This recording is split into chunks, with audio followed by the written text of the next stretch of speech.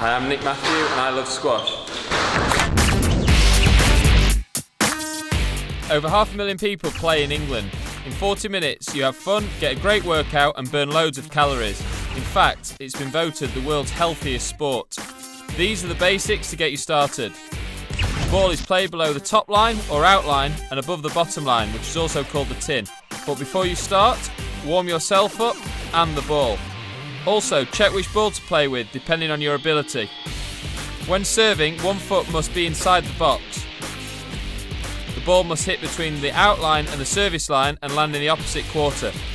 You can return the ball on the bounce or step forward and volley, as long as it stays within the court. After every shot, try to get back to the T zone.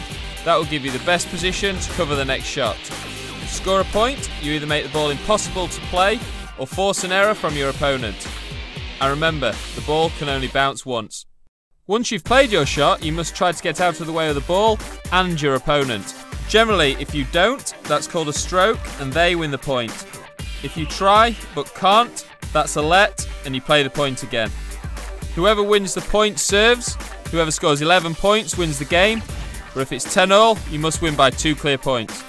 It's the best of five games that wins the match. There are over 1,700 facilities with squash courts in the country. Check out the website for more details. So get out and start playing.